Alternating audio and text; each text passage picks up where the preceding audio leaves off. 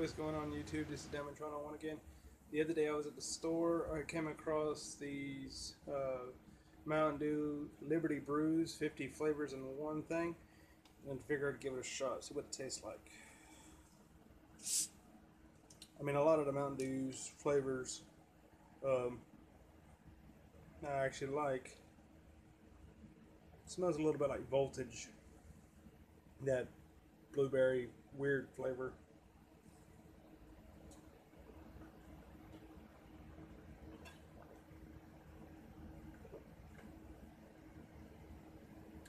Not bad.